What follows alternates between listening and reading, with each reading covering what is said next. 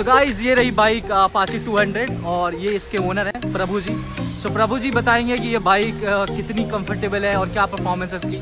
Because एक दिन में तो आप किसी बाइक को जज नहीं कर सकते हो और ये अपाची 200 इसने अपग्रेड किया बाइक को। सो आई थॉट कि प्रभु ज़्यादा अच्छा बता सकता है इस चीज़ को कि बाइक कैसी है कितनी कंफर्टेबल है माइलेज कितनी है परफॉर्मेंस क्या है। सो so, प्रभु आप ही बताओ। हेलो गाइस तो आज मैं आपको बताता हूँ कि अपाचे 200 फोर वी का क्या परफॉर्मेंस है और क्या एफिशिएंसी है क्या इसमें लोग इतनी दिखती क्यों है ये? आज मैं आपको ये बताने वाला हूँ। जैसे जैसे हम लोग क्रूज को बोलते हैं रॉकेट इंजन हाँ। ये भी एक रॉकेट तो भाई के पास एक क्रूज भी है। मतलब कानपुर में बहुत पैसा भाई का ट्रबल भर के पैसा आता है। क्रूज है और कौन सी है? क्रूज है ट्वेंटी है okay. और कुछ नहीं है। तो क्रूज का रिव्यू भी हम बहुत जल्दी करेंगे प्रभु के साथ। तो पहले अपाची की बात करते हैं जो जिसके लिए हम आए पहले मैं आपको ये बता दूँ कि मैंने इसको फ़िलहाल ही अपडेट किया है अपाचे 160 में। तो 160 मेरे पास थी और उसकी भी पावर कुछ अलग ही थी बट मुझे थोड़ा सा और पावर चाहिए था। तो जब ये लॉन्च हुई तो उसके दो दिन बाद ही मैंने इसको परचेज कर लिया था। हम्म। और और ये बहुत सेक्सी बाइक है। लुक वाइज ले लो चाहे so, प्रभु 160 हाँ। से और ये 200 में परफॉर्मेंस को लेके वो टॉर्क एंड पावर को लेके कुछ फील आया उसमें? बिल्कुल फील आया। पहले तो इसमें सिटिंग जैसे आप बैठते हो अपाचे 160 में और अपाचे 200 में दोनों में बहुत डिफरेंस है सिटिंग के मामले में। हाँ, हाँ। उसके बाद ब्रेकिंग के मामले में इसमें एबीएस भी है आगे पीछे डिस्क है बहुत आपको मतलब चलाने में फील आता है आपको। आपको मज़ा आ जाएगा। तो ये बाइक बेटर है 160 से राइट बिल्कुल और प्राइस में कितनी महँगी कितनी ली आपने? मैंने तो ली थी वन लैख सेवन थाउज़ेंड की। और हाँ और अब ये बहुत ज़्यादा ही महँगी हो गई है। हम्म। हाँ अब ये अराउंड अराउंड वन ट्वेंटी के अप्रॉक्स है। ओके हाँ। तो आपने तेरह हज़ार रुपये वैसे ही बचा लिए। बिल्कुल। तो मेरे को तीन साल हो गए बाइक लिए हुए। ओके ग्रेट बट बाइक बहुत अच्छी कंडीशन बाइक अभी भी बहुत अच्छी कंडीशन में है बिकॉज़ मैं इसको बहुत ही वेल कंडीशन मैनर में रखता हूँ। और डेली सर्विस मतलब हर महीने इसकी सर्विसिंग कराता हूँ टाइमली हर तरीके से। मैं करता हूँ। और ये हमारे सब्सक्राइबर आ चुके हैं छोटे छोटे। हाय बोल दो। हेलो बोलो। तो तुम्हारी कौन सी बाइक फेवरेट है?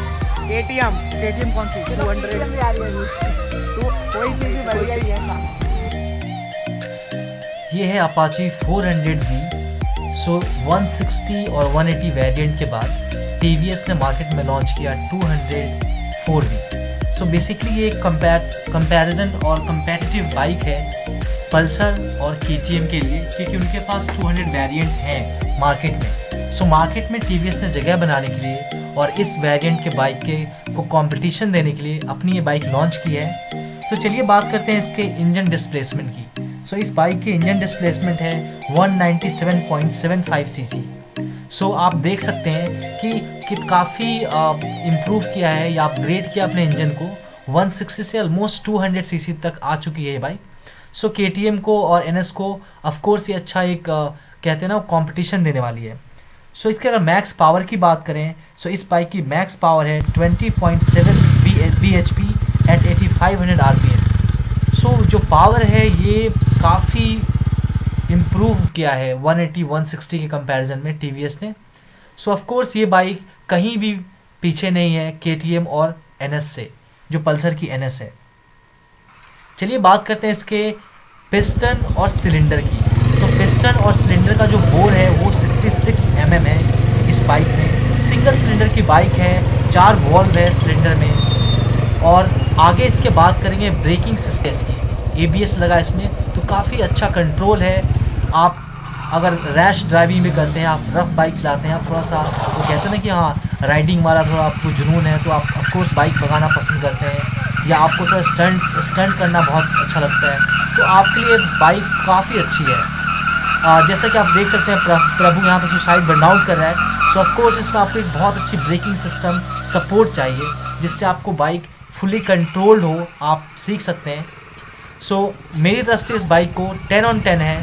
अगर आप के या अदर मार्केट में जो भी बाइक्स हैं अगर आप सोच रहे लेने के लिए तो T V S two hundred Apache of course एक आपके लिए अच्छा ऑप्शन है। सो so, मेरी तरफ़ से गुड टू गो